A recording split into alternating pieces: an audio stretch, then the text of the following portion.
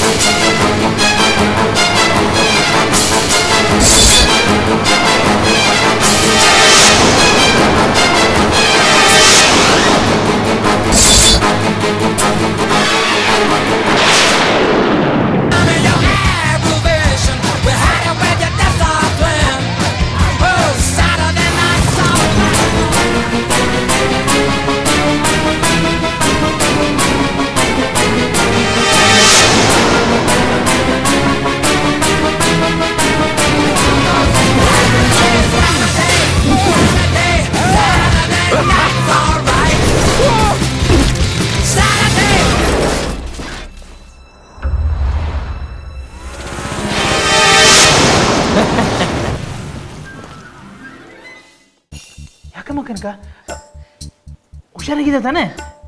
ನಿನಗಿನ್ನೂ ನಿದ್ರೆ ಮಂಪು ಹರಿದಿಲ್ವಾ? ಅದೇನೋ ಒಂದು ಅರ್ಥ ಆಗ್ತಿಲ್ಲ ಮಾವಯ್ಯ.